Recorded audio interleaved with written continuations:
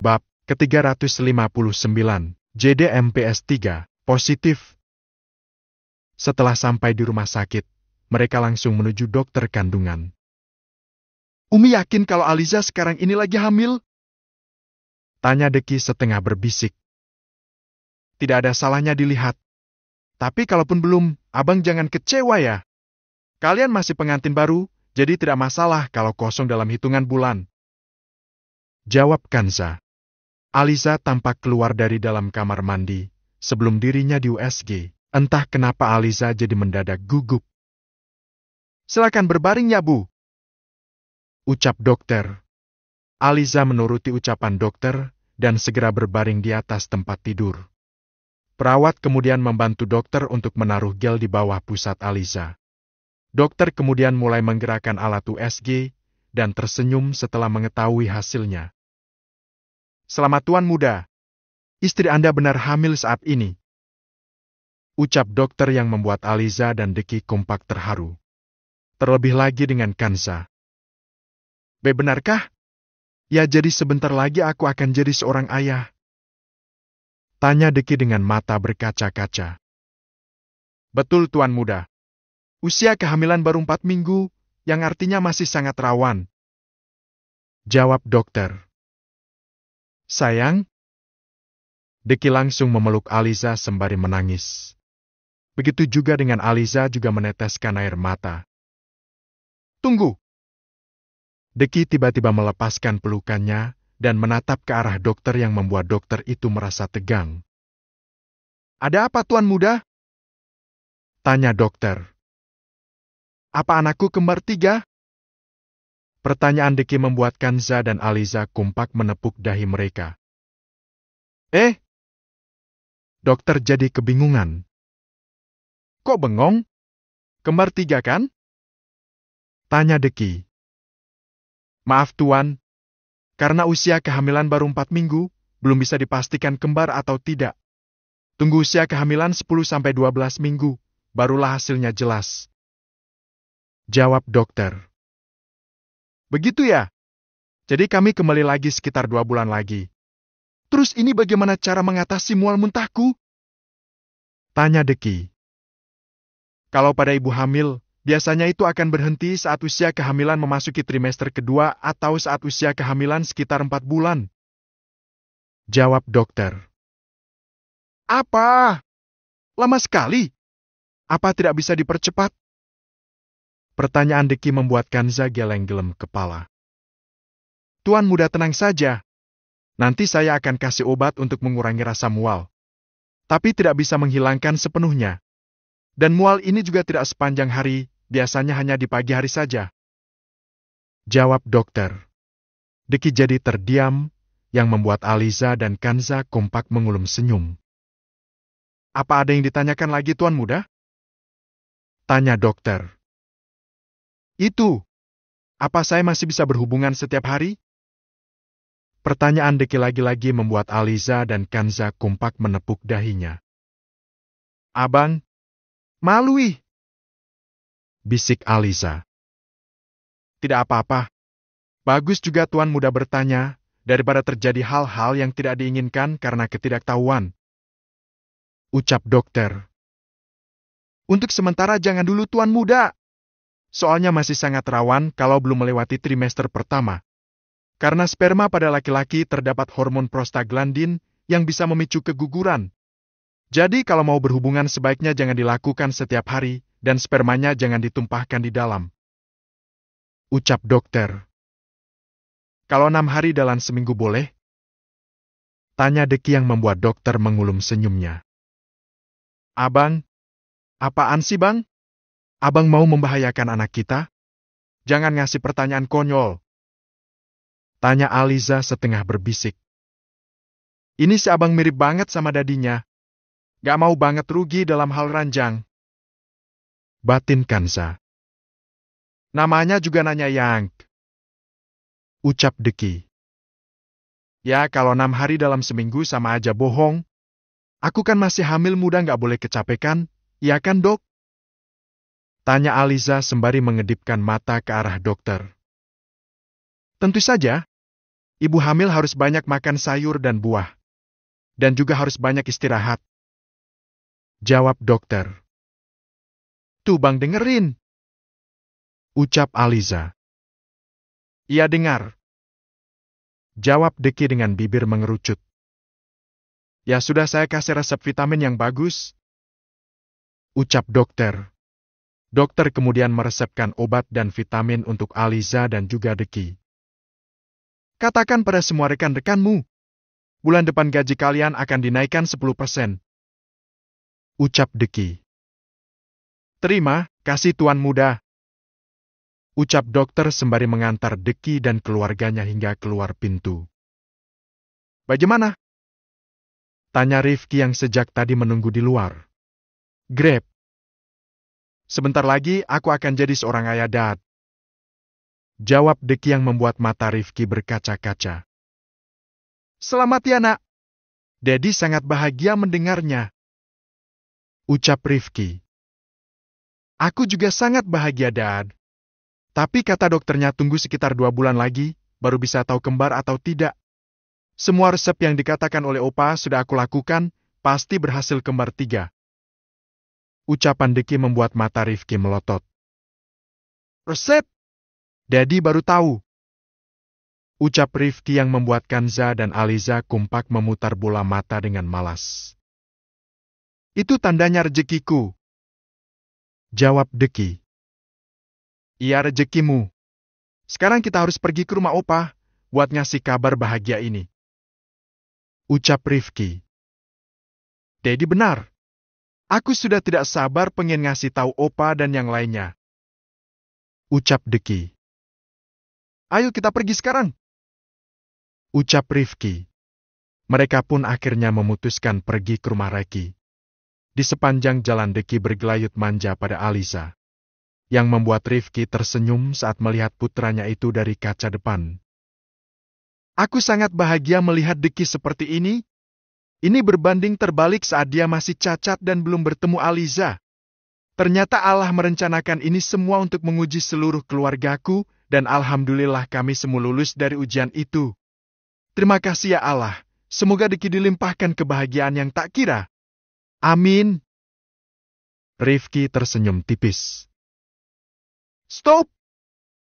Rifki yang terkejut mendengar ucapan Deki, menghentikan mobilnya secara mendadak. Duak. Oh, sayang, kamu gak apa-apa kan? Deki terlihat panik saat melihat Aliza kesakitan. Abang kenapa ngerem mendadak begitu? Tanya Kanza. Sari Dedi kaget karena abang minta berhenti tiba-tiba. Jawab Rifki. Maaf, Dad. Ini memang salahku. Sayang, di bagian mana yang sakit? Tanya Deki. Aku nggak apa-apa, Bang. Cuma dahiku saja yang terbentur kursi. Jawab Aliza. Deki memeriksa dahi Aliza dengan posesif. Dahi istrinya itu memang tampak memerah. Maafin abang ya sayang. Ucap Deki. Emang mau apa minta Dedi berhenti tiba-tiba? Tanya Aliza. Deki menunjuk ke arah gerobak rujak yang ada di pinggir jalan. Rujak? Abang mau rujak? Tanya Alisa. Ya, sepertinya itu segar sekali. Jawab Deki. Tunggu di sini. Biar Ded yang belikan. Ucap Rifki sembari turun dari mobil. Beli mangga yang banyak dad buat stok. Ucap Deki setengah berteriak karena Rifki sudah berada di luar pintu. Tentu saja Rifki tahu apa yang diinginkan putranya itu. Pria parubaya itu segera membeli buah yang dibutuhkan untuk orang nyidam pada umumnya. Setelah selesai, Rifki kembali ke dalam mobil. Deki yang tidak sabar langsung mengambil mangga muda kupas dan memakannya dengan garam cabai. Krauk, krauk, krauk. Duh, abang yang makan, kenapa aku yang linu? Ucap Aliza. Enak ini yang. Cobain deh ucap Deki sembari menyodorkannya di depan mulut Aliza. Gak mau. Esiem. Ucap Aliza sembari menggeleng dengan cepat. Apa Bang Deki dari dulu suka mangga muda Umi? Tanya Aliza. Boro-boro suka. Setauku dia nggak pernah makan sama sekali. Jawab Kanza. Deki kembali mengambil mangga dalam plastik, namun tangannya ditahan oleh Aliza. Kenapa? Tanya Deki. Abang belum makan apa pun pagi ini. Aku nggak mau asam lambung abang jadi naik gara-gara makan ini secara berlebihan. Nanti pas di rumah opa, abang makan dulu. Habis itu baru boleh makan ini lagi. Jawab Aliza. Tapi, betul yang dikatakan Aliza. Nanti perut kamu sakit, terus moncor terus ke kamar mandi. Timpal Kanza. Deki memasukkan lagi mangga itu ke dalam plastik. Setelah sampai di rumah Reki, Deki berteriak-teriak tidak sabar. Opa Aa, Opa di mana? Teriak Deki. Kayak suara Bang Deki. Tapi kenapa dia teriak-teriak begitu kok? Tanya Anissa. Ayo kita lihat. Ucap Reki.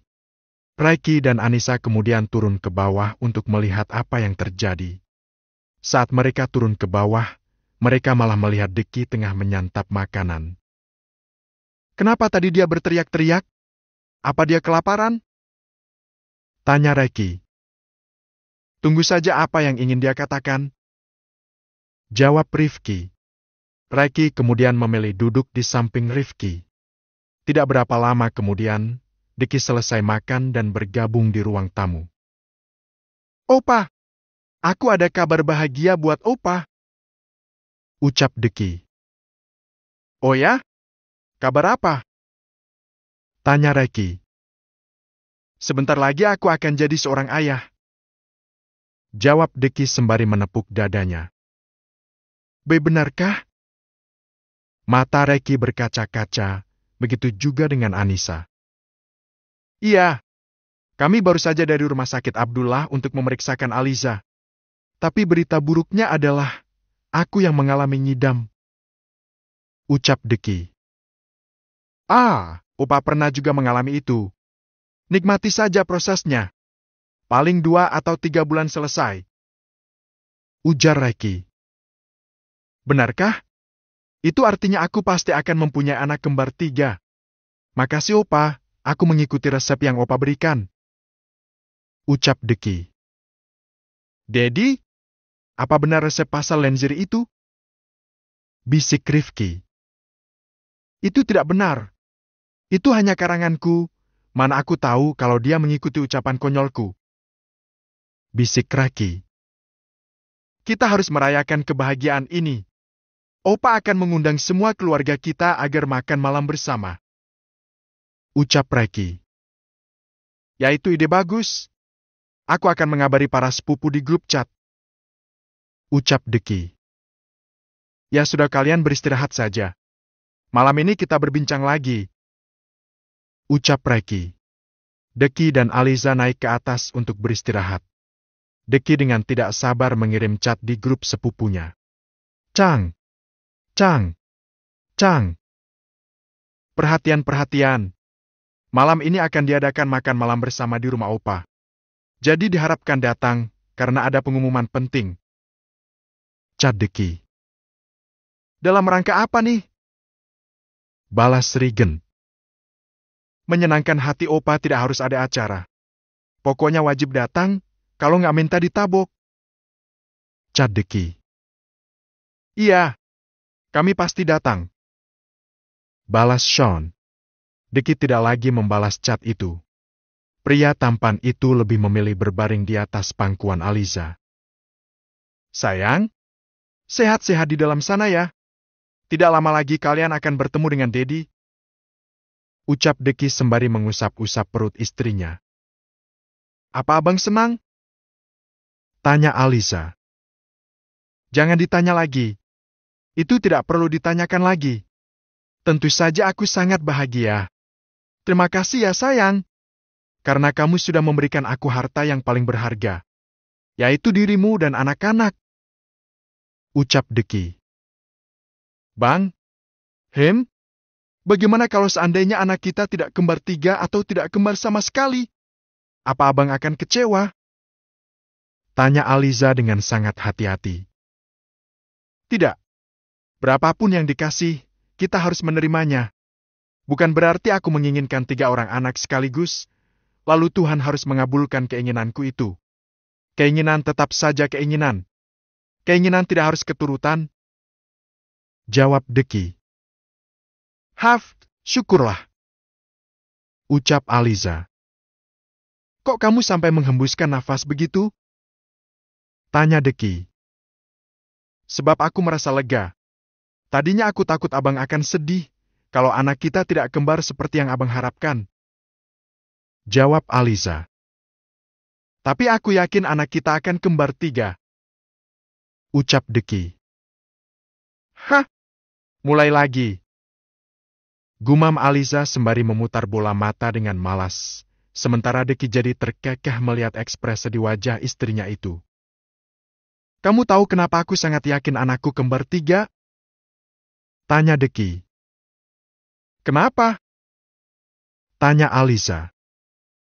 Karena aku sering mimpi dikasih ayam tiga ekor, dan semuanya ayam jantan. Jawab Deki. Ya ampun, kalau itu benar terjadi, mungkin aku yang bakal pingsan.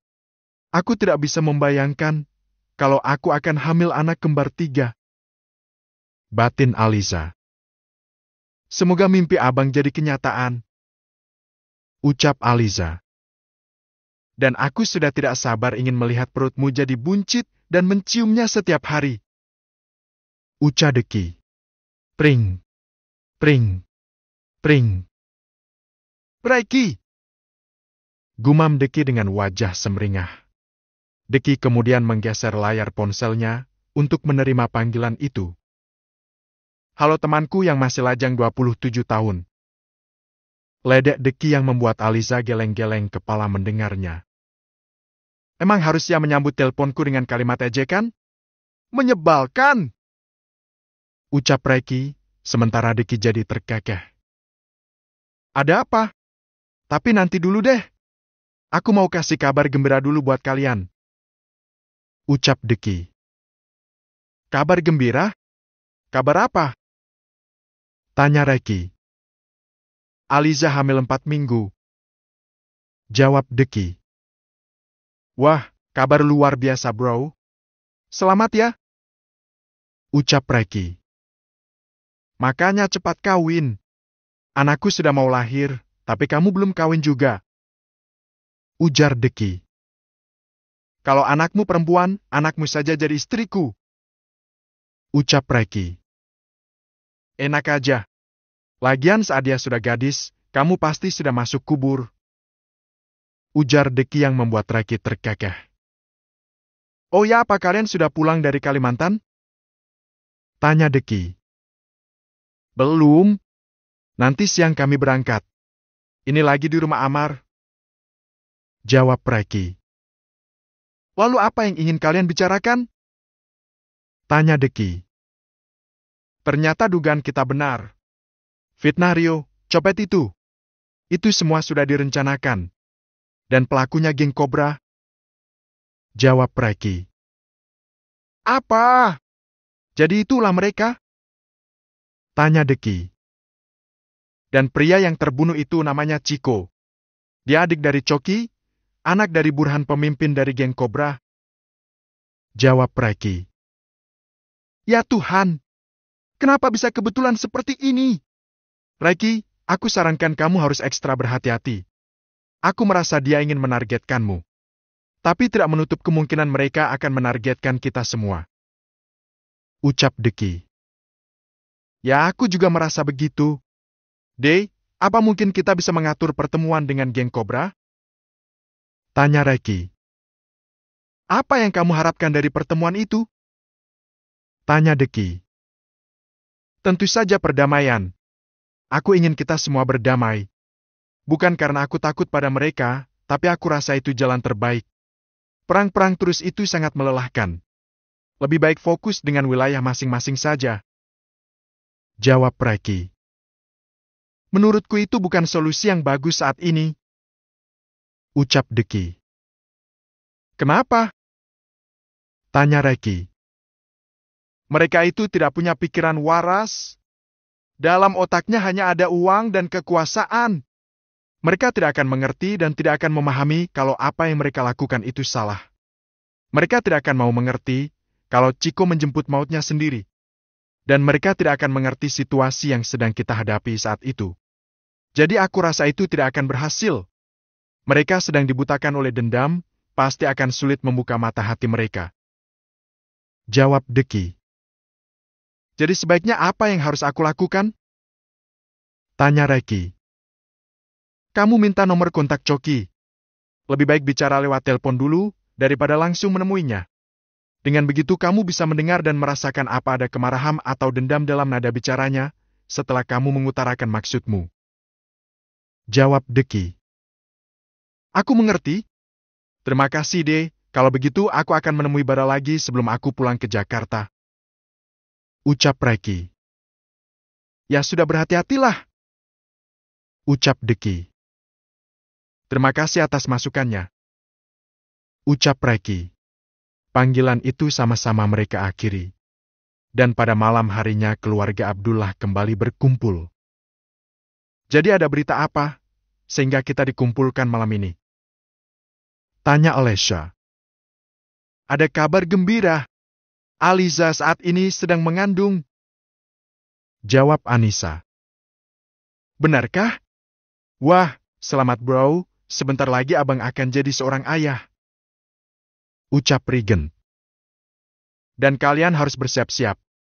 Kata dokter nanti akan ketahuan kembar atau tidak setelah usia kehamilan 12 mingguan. Kalian siapkan hadiahnya untukku. Ujar Deki. Belum tentu. Abang jangan banyak berhayal. Nanti kalau nggak kesampaian malah stres. Timpal Sean sembari terkekeh. Kalian ini paling tidak bisa menutupi rasa iri dariku. Ucapan Deki langsung mendapat cebikan dari para sepupunya. Pring. Pring. Pring. Yami? Tanya Steve di seberang telepon. Steve, kamu cepat pulang. Papi tiba-tiba pingsan. Mami takut. Hicks. Stefani terisak di seberang telepon. Epi apa? Ya aku pulang sekarang, Mi. Apa Mami sudah menelpon Jake? Tanya Steve. Sudah. Dia sedang menuju kemari. Jawab Steve. Mami dengarkan aku. Siapa pun cepat sampai, maka langsung bawa papi ke rumah sakit Abdullah Sekatang juga. Ucap Steve. Ya. Jawab Stefani. Steve kemudian mengakhiri panggilan itu dan segera bangkit dari tempat duduknya. Ada apa, Bang? Tanya Aisyah. Papi pingsan. Aku harus pulang sekarang. Jawab Steve. Papi kamu sakit? Tanya Reki. Iya, Dad. Akhir-akhir ini nafasnya sering sesak. Aku pulang dulu ya, Dad. Ucap Steve. Bang, aku ikut. Ucap Aisyah. Ayo. Ucap Steve. Kabari kalau ada apa-apa. Ucap Reki. Hmm. Steve pun mengangguk. Steve dan Aisyah melangkah pergi. Namun belum sempat mereka melangkah jauh, ponsel Steve kembali berdering. Bang, papi sudah nggak ada? Ucap Jay dari seberang telepon. Prak. Ponsel Steve terlepas dari tangannya dan jatuh ke lantai, seiring air mata yang menetes di pipinya. Bab ke-360, JDMPS 3, Duka Steve. Bang, ada apa? Tanya Aisyah. Hicks, papi udah nggak ada. Jawab Steve sembari memeluk Aisyah. Mendengar jawaban Steve, semua orang berdiri dari tempat duduknya. Apa yang kamu katakan, Steve? Tanya Reki sembari mendekat ke arah menantunya itu. Papi meninggal dunia, Dad. Hicks. Jawab Steve sembari terisak. Klotak. Tongkat di tangan Reiki terlepas begitu saja. Bayang-bayang saat bertemu Dirim pertama kali, dan persahabatan yang sudah mereka jalani selama ini seolah menjadi slide satu persatu. Air mata bening menetes di pipinya dengan mata terpejam. Dad, kendalikan emosimu. Rifki yang takut Reiki sakit setelah mendengar kabar itu, segera menghampiri dadinya itu. Namun Reiki malah mendekati Steve dan memeluk menantunya itu. Tentu saja tangis Steve bertambah pecah. Rasanya baru sebentar aku bersamanya.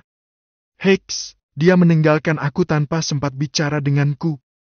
Hicks, papi, huhu. Reiki mengeratkan pelukannya pada Steve. Pria berusia senja itu jadi membayangkan saat dirinya tiada nanti, pastilah anak-anaknya juga akan menangisinya sedemikian rupa. Air mata Reki jadi mengalir saat membayangkan itu semua. Tidak hanya dia saja, semua anak-anak dan para cucunya juga menangis saat ini. Mereka juga jadi membayangkan saat Reki dan Anissa tiada nanti. Aku tidak bisa membayangkan saat Dedi dan Umi tiada nanti. Rasanya dadaku sesak, aku benar-benar merasa tidak sanggup. Batin Rifki. Rifki menoleh ke arah Anissa dan tiba-tiba mendekati wanita bercadar itu. Umi! Hicks! Rifki tiba-tiba memeluk Anissa sembari menangis. Melihat Rifki memeluk Anissa sembari menangis, Rafki, Aisyah, Alesha, dan Amira jadi ikut memeluk Anissa sembari menangis. Seketika ruangan itu jadi penuh oleh isak tangis semua orang. Anissa tahu apa yang ditangisi anak-anaknya. Satu persatu Anissa menciumi putra dan putrinya. Kudarulah, semua yang bernyawa pasti mati. Kita hanya nunggu giliran saja. Persiapkan diri kalian dari sekarang, dengan banyak beriman dan beramal. Niscaya kalian semua akan menanti kematian dengan bahagia. Ucap Anissa. Umi jangan bicara mati dulu. Aku masih belum sanggup kehilangan Umi. Hicks, Rifki terisak. Umi seperti sayap-sayapku. Kalau sayapku patah, aku tidak sanggup menghadapi dunia lagi. Timpal Aisyah. Tidak boleh begitu. Saat Umi tiada nanti, Umi tidak mau ditangisi dan diratapi seperti ini. Nangis boleh, tapi tidak boleh berlebihan. Bahkan saat anggota keluarga Nabi ada yang meninggal, Nabi juga meneteskan air mata. Kalian harus sabar. Ucap Anissa. Mudah diucapkan, tapi sangat sulit diaplikasikan. Pada intinya aku belum sanggup kehilangan Umi. Ucap Rifki. Dasar cengeng. Hem? Anak jantan Umi tiba-tiba berubah jadi cacing. Anissa mencubit pipi Rifki dengan lembut. Sementara itu Reki dan Steve sama-sama melerai pelukan mereka. Sabar ya nak, ini sudah ketetapan Allah. Tapi kamu pergi dengan cara seperti ini pasti tidak ingin merepotkan anak istri lagi. Dedi ingat betul papi kamu pernah bilang, kalau dia ingin meninggal secara cepat tanpa perlu anak istrinya merawat dia puluhan tahun. Karena dia merasa kalian sudah merawatnya selama 25 tahun di saat dia sedang koma. Ucap Reki. Sekarang Allah sudah mengabulkannya. Dia pasti bahagia di surga nanti. Sekarang ayo kita pulang ke rumahmu bersama-sama. Kita akan urus pemakaman bersama-sama. Deki, kamu diam saja di rumah. Jaga Aliza. Ucap Reki. Ya opa. Jawab Deki. Makasih, Dad. Ucap Steve. Keluarga Abdullah pun pergi ke rumah Steve untuk melayat. Saat tiba di sana, Steve tak kuasa menahan kesedihannya. Mata Stefani, Jade, Siaren, Arsi, Najla, Aska sudah membengkak. Sementara Azahra dan Oyama belum datang karena tidak ada lagi penerbangan. Papi. Steve berteriak dari depan pintu rumahnya. Steve melihat sosok kaku di tengah rumah yang sedang ditangisi oleh keluarganya. Steve sudah kehilangan kendali dan menangisi jasad ayahnya itu. Papi, kenapa papi nggak nungguin aku, Pi? Kenapa papi pergi tanpa bicara sama aku dulu, Pi? Papi, Hicks. Steve memeluk jasad Dirim yang tidak merespon sama sekali. Melihat Steve menangisi jasad Dirim, anak-anak Reki kompak menoleh ke arah dedinya itu dan berhambur ke pelukan Reki. Dedi? Dedi sehat-sehat ya, Dad. Aku belum sanggup kehilangan Dedi. Hicks. Rifki terisak. Kalian ini kenapa? Syarat mati itu tidak harus tua dulu. Kalau Allah sudah memanggil kita, ya kita harus datang berapapun umur kita. Ucap Reki. Tapi belum mau kehilangan Dedi. Renge Alesha sembari terisak. Kalian jangan seperti ini. Kita ke sini mau menghibur Steve dan keluarganya. Aisyah, dampingi suamimu. Dia membutuhkan kamu saat ini. Kenapa kamu sibuk sendiri dengan kesedihanmu? Ucap Reki. Eh! Aisyah menoleh ke arah Steve yang seperti sedang histeris. Sementara Anissa tampak menenangkan Stefan yang sedang menangis terseduh-seduh. Aisyah kemudian mendekati Steve dan langsung memeluk suaminya itu. Sabar ya bang, ucap Aisyah sembari menangis. Papapi sudah ninggalin aku. Hicks. Steve memeluk erat Aisyah. Pasangan suami itu sama-sama menangis terisak. Reiki perlahan mendekati jasad sahabatnya yang sudah meninggalkan dia lebih dulu. Yil, hari ini kamu sudah pulang lebih dulu. Bisa jadi esok giliranku. Apa yang kamu minta, Allah sudah mengabulkannya. Tenanglah kamu di sana, Yil. Kami akan selalu mendoakanmu. Ucap Reiki sembari menitikan air mata. Reiki kemudian mencium kening Dirim dan menutup kembali wajah Dirim dengan kain berwarna putih. Reiki kemudian menghubungi Rio dan Reno. Kedua sahabatnya itu sangat terkejut mendengar kabar duka itu dari Reiki. Ini sudah malam. Kalian bisa datang besok pagi saja. Ucap Reiki. Lei, apa setelah ini giliran kita? Tanya Rio di seberang telepon. Aku jadi mendadak takut. Timpal Reno di seberang telepon. Apa yang kalian bicarakan? Itu ucapan orang yang lemah iman. Kita semua pasti mati. Sebelum waktu itu tiba, perbanyak lagi ibadah dan sedekah kita. Ucap Reki. Aku sedih membayangkan akan meninggalkan anak cucu kita. Ucap Rio. Sudahlah jangan diingat-ingat terus. Perhatikan kesehatanmu. Jangan sampai hipertensimu kumat. Ucap Reki. Bagaimana dengan gula darahmu, Ren?